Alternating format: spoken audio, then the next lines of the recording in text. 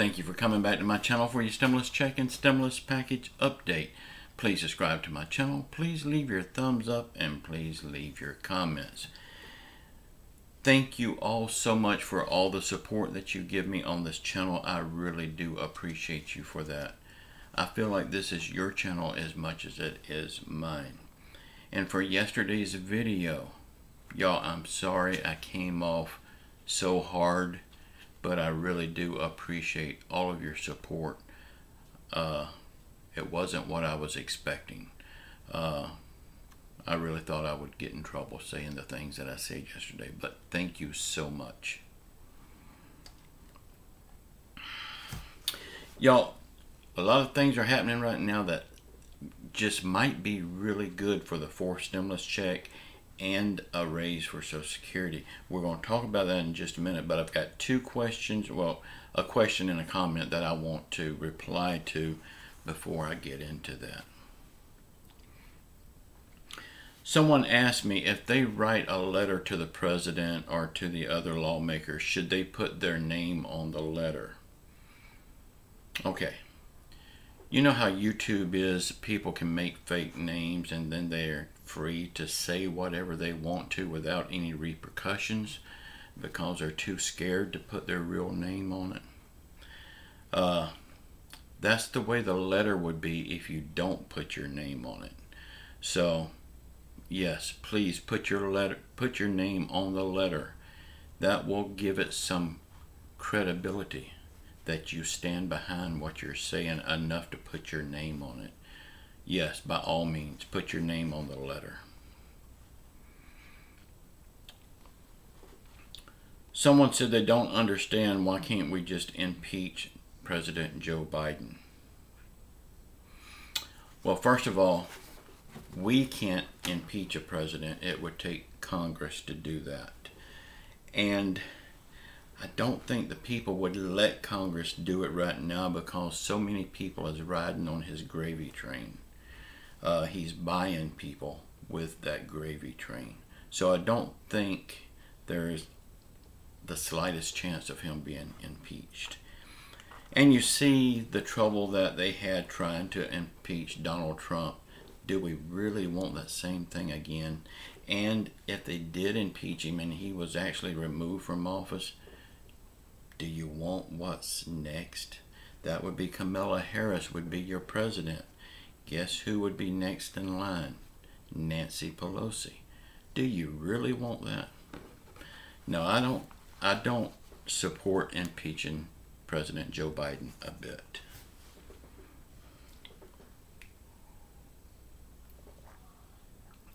Okay, y'all, on to the good news.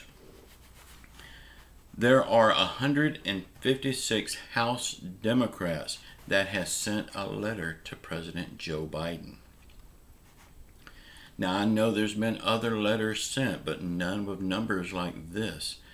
Uh, 156, that's 70% of the House, and it wouldn't take much to persuade the others to join suit. They are trying to get President Biden to lower the age that you would have to be to be accepted into Medicare. They want the age to be lowered to 60. That is a very good idea because there's some pe- there's a lot of people that needs Medicare and can't get it because of their age. If they did lower the age limit to 60, that would mean 12 million more people would qualify for Medicare and they would get the medical needs and medications that they desperately need. They're also wanting him to expand the Medicaid Medicare coverage to cover vision, hearing, and dental. I'm going to talk on dental just a minute because I've had a lot of issues with dental. Right now my teeth are in good shape. They may not look that way, but medically they are in very good shape. Uh, but it was due to my cancer the reason why I had to get my teeth fixed. Before I could start treatments, they made me get all of my dental work done. Okay, but tooth decay, tooth rot, uh, gingivitis, all of these plaque, all of these things leads to even more serious health conditions like heart trouble, diabetes, stroke. All I mean, dental work has a lot to do with your overall health. So why don't Medicare cover it? Seems like it would be a preventive measure for them and actually save on money. So yeah, I'm all for this uh, expanded Medicare. Vision, you know, to go get your eyes examined and a pair of glasses is not really that much, but for some people, $200 is a lot of money. So yeah, we need all of this expanded Medicare. That that is a very good thing. This is something that Bernie Sanders has been fighting for for a long time. But they just kind of always laugh Bernie Sanders off. They think he's kind of crazy. And I did too at first. But then I really got to listening to the man, and the man makes a lot of sense. He's probably one of the few in Washington right now that's got some brains.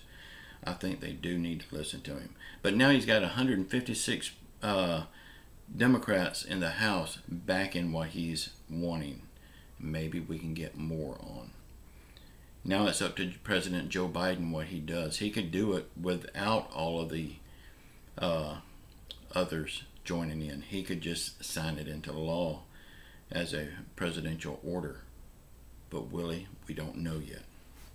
But that would be very good.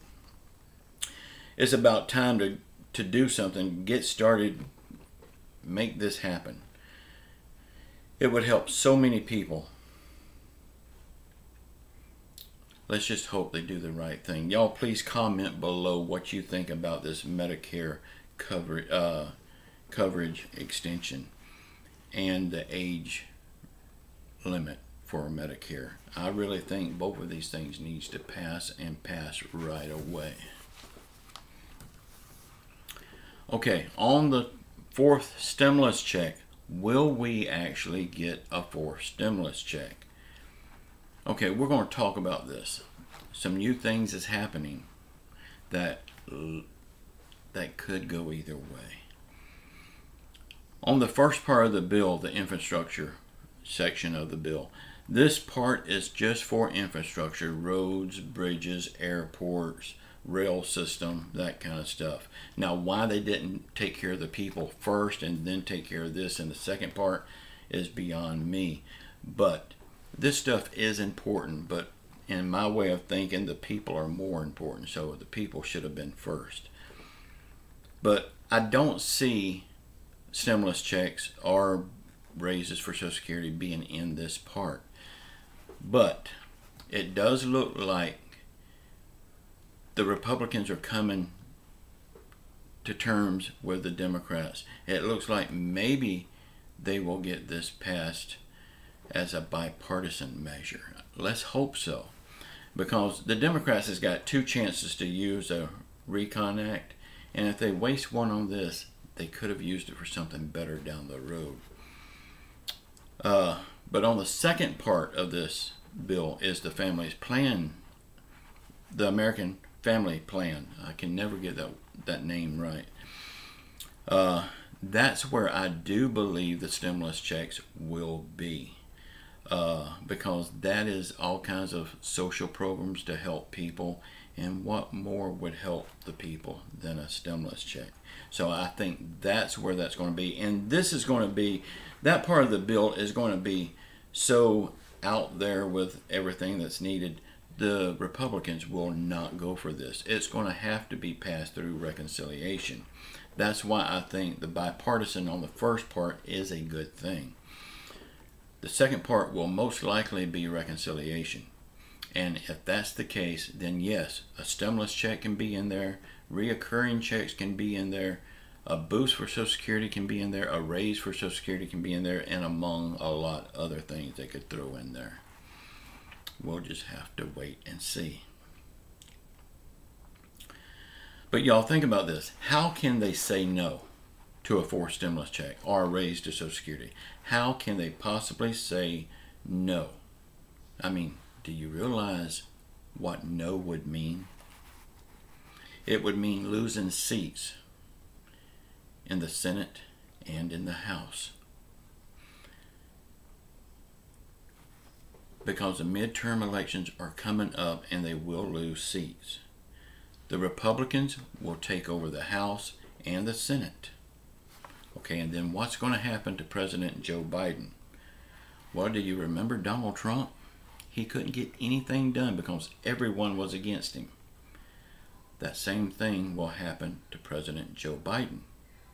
Last time it was Donald Trump and the Democrats was against him. He was against it. He, Donald Trump was against everybody. But uh, this time it will be the Republicans will be against President Joe Biden. And he will not be able to get anything done. So it's very important that they don't lose any seats. Uh, it would it would behoove them to gain more seats. They're already in control, but why not get more seats and be even more in control? Make that pad for them. So, will the fourth stimulus check happen? I'm almost certain that we will get a fourth stimulus check. And if they pass that Re- Reconciliation Act, reoccurring checks are very possible. I don't put a lot of credit into those reoccurring checks, but it just might happen. A raise for Social Security, that's going to have to happen. How can they keep saying no to people that's needing help the most? I mean, these seats are coming up. These votes are coming up. The midterm elections, it's all it all depends on what they do now.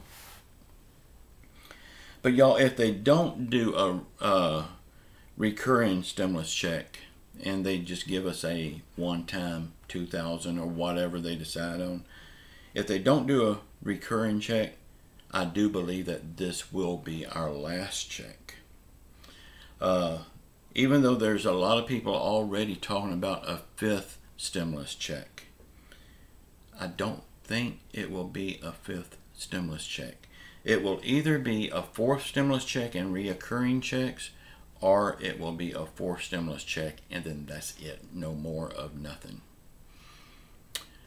Y'all let me know in the comments what you think about all of this. This is just how I see it. I may be wrong on it, on some of it. I don't I don't pretend to know everything like a lot of people here does. But y'all just let me know what you think. Sound off in my comments. Please be hard on these lawmakers. Let them know what you hate about the job they're doing or what you love about the job they're doing. I don't see a whole lot to love about them right now. Y'all, but I do see one thing that is very positive, and we all got to remember it. Jesus Christ is in, in complete control. Keep your faith in Jesus Christ. He will get us through this. I don't think it's going to be much longer. Say a prayer for our country, say a prayer for our leaders, say a prayer for everyone around the world that's hurting through COVID, financial hardship, or any other affliction. And just know, I love you all, and I'll see you next time. Ciao.